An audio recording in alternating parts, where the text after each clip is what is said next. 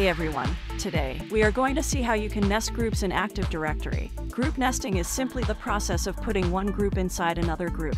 Nesting groups in Active Directory allow for better control and managing access to resources in the network. Here's how you can do it. Go to Server Manager, then click on Tools, and select Active Directory users and computers. Let's choose this group to nest inside another group. Right-click on the group and click Properties. In the window that pops up, click the Member of tab. Click Add to search for the group you want this group to reside in. You can search for the group by typing out the name and then clicking Check Names. Click the group you want in the list that is shown, and then click OK.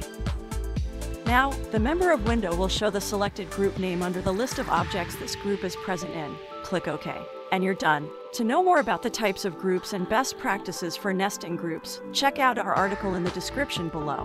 So that's it for today's video, and I'll see you in the next one. Bye-bye.